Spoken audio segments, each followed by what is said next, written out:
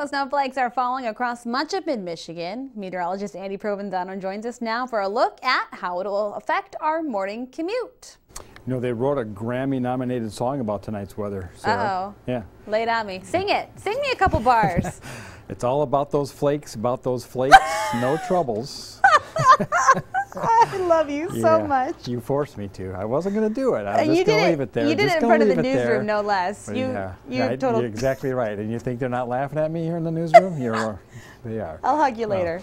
uh, thanks. Take a look and see what's going on on the uh, advisory map. We still have a winter weather advisory. The next couple of hours are really the most important, but there will be a little bit of mist coming in on the back side of this, so there could be some of that freezing to the windshields and things like that later on tonight. But you see the bulk of the snow has got a back edge. The uh, certainly going to be still maybe an additional inch of snowfall that is out there. When you look at the visibilities, they're not all that low. This is really light flakes, small flakes, light snow so it's not adding up to much, but it's been steady since 7 o'clock. And the back edge is now on the other side of the lake. As I've mentioned, though, we do have temperatures up a little bit above in the atmosphere where they're getting closer to the freezing mark or just above.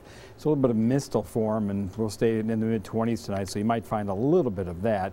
The high temperatures of the day are really almost the current readings in the mid 20s. We hold there the most the rest of the night and through the daytime tomorrow, then fall as winds turn back to the northwest. And you see those temperatures that are back there, 6 in Eau Claire. The sky's clearing out on the backside of the system.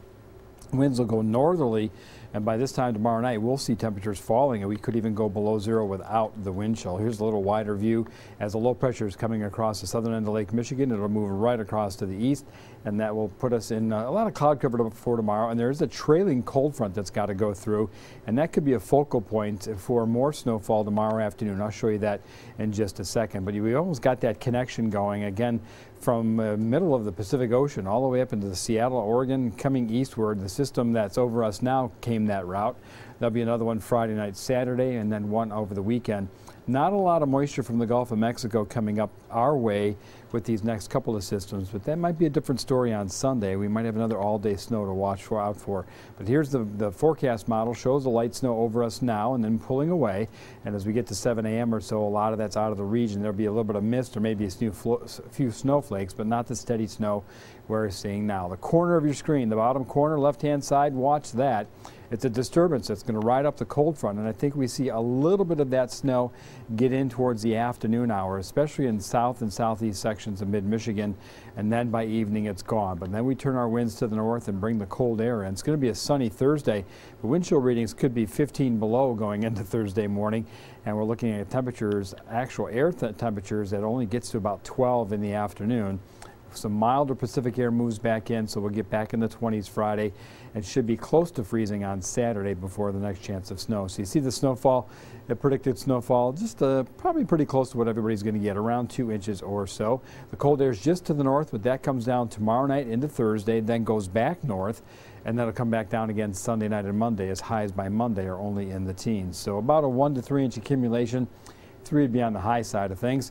All of the light snow ends around 3 a.m., but a little bit of mist will be available into the morning hours, and uh, that could stick to, I think with the snow down, that's good news, but could stick to the windshield or your drive handles, those kind of things. 13 on Thursday. Friday's windy with cloud up. 22 degrees after sub-zero starts, and then light snow Saturday, and then a better chance of snow Sunday into Monday morning, and following that will be more in the way of cold. So this is not the only snow of the week. Make sure your snow shovel or snow blower is close by. It'll be needed.